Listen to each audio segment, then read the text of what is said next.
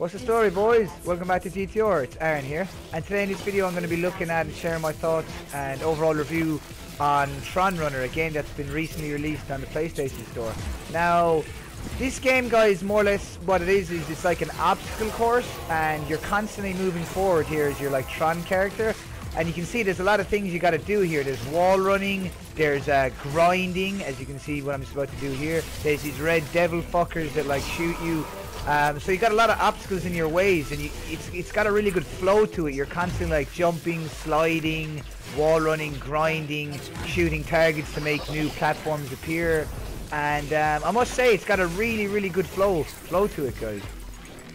Now it's really satisfying guys when you do good in this game when you keep your combo and scores up. As you can see there in the top right, you can see like my uh, combo circle bar, whatever you want to call it. And that will, uh, you can see it there, it's going down. Now to keep that up, I want to collect these uh, yellow kind of circle coin looking things, which are actually are like these bitcoins. And for every one of those you can collect, when you complete the obstacle course, you keep them all.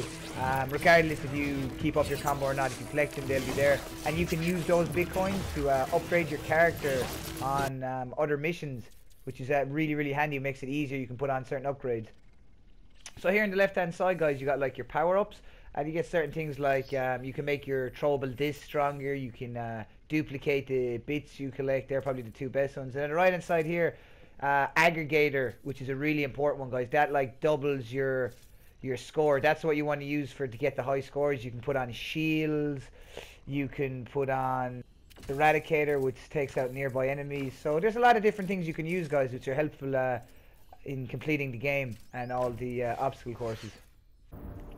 So you do actually have two other game modes in this game, guys. Uh, you have your cycle mode here, which is in the middle, where you're just on like a motorbike going through checkpoints, really, really uh, fast, drifting, doing tricks, which is really, really fun. And uh, the last one here is called Stream, which is a mixture of the disc and cycle mode. Uh, and it's endless survival, so you can just keep going and going until you die, which that's really, really fun to see uh, how long you can actually go in this game and post high scores and try to beat your friend's scores. So that's pretty cool as well. So this is me here guys just playing the cycle mode and as you can see it's really really high paced. You got other uh, two other opponents there trying to fuck you up. You can see that guy kind of ran me there.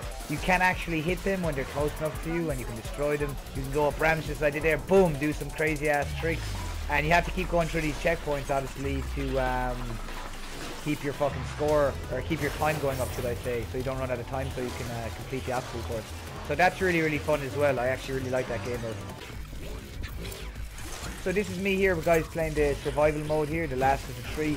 And I think this mode here looks the best graphically. I really like the, the graphic style of this mode. Uh, but to be fair, all the two other modes look very, very good as well. This game actually does use the Unreal 4 engine, so the colours do really pop and they're vibrant. As you can see here, it does actually look really, really nice.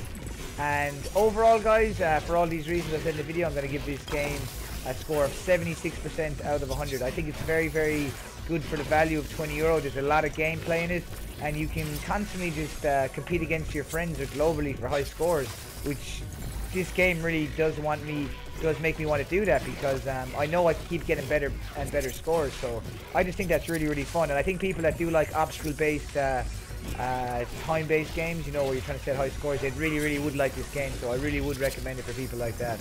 Um, that's me done for this video, guys. I hope you enjoyed my review on Tron Runner. And I'll catch you on the next one, guys. Take it easy. Peace out.